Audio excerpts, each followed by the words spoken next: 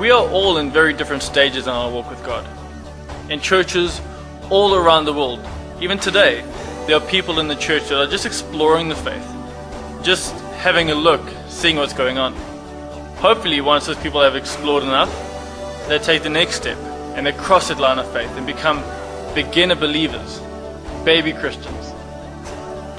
The more those baby Christians grow and learn about the Word of God, soon they start becoming seriously growing Christians, people that are seriously growing in the Word of God.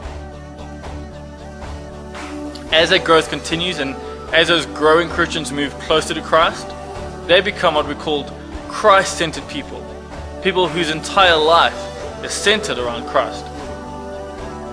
An important question to ask is at what level in your walk with God, in what part of this journey, does the Bible become very important?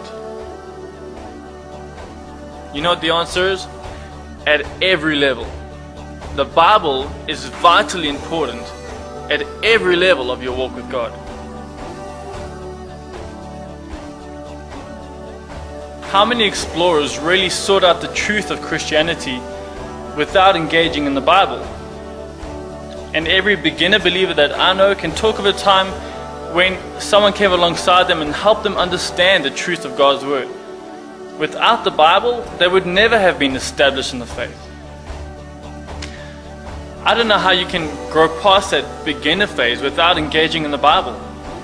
You can stay in that beginner phase for a really long time of your life if you don't get into the truth of God's Word. Really, the, the only thing that can get you past that adolescent phase of your walk with God is allowing your entire mind and being to be transformed and saturated by the truth of God's Word. We are dead serious about the need that each one of us has to engage more in the Bible.